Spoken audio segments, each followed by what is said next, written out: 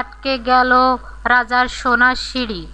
কিছু আলোচনা, কয়েকটি দ্বিপাক্ষিক চুক্তি, এসবই হওয়ার কথা ছিল রাশিয়া এবং সৌদি আরবের মধ্যে। কিন্তু সব কিছুকে ছাপিয়ে গেল সৌদি আরবের রাজা রাশিয়া পদার্পণের ঘটনা প্রবাহ দেড় হাজার লোকজন নিয়ে নিজস্ব বিমানে করে রাশিয়ায় এলেন তিনি। চার দিনের রাশিয়া সফরে বিমান থেকে নামার সময় দেখা গেল তার পা স্পর্শ করছে সোনার চলন্ত সিঁড়িতে। হ্যাঁ তিনি সৌদি আরবের রাজা রাজা সালমান বিন আব্দুল আজিজ। একাশি বছর বয়সেও তিনি বুঝিয়ে দিলেন মেজাজটায় আসল রাজা, কারণ সেই চলমান সোনার সিঁড়িতে কিছু যান্ত্রিক ত্রুটি দেখা দেয়। তখন বাকি অর্ধেক পথটা হেঁটে যেতে হয় রাজামশাইকে।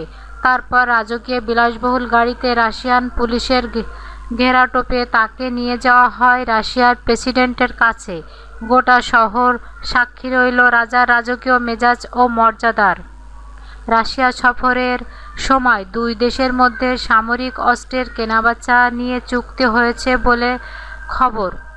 আর সৌদি আরবের কাছ থেকে তেলের সহযোগিতা নিয়ে আলোচনা হয়েছে রাশিয়ার প্রেসিডেন্ট ভ্লাদিমির পুতিনের সঙ্গে। এমনকি রিয়াদ মস্কো বিমান চলাচল রোজ চালু করার বিষয়ে তাদের মধ্যে কথাবার্তা হয়েছে। আটশো কেজি খাবার সঙ্গে নিয়ে এসেছেন যা নিজস্ব রাঁধুনি দিয়ে রান্না করা হয়েছে। রয়েছে সৌদির কফিও।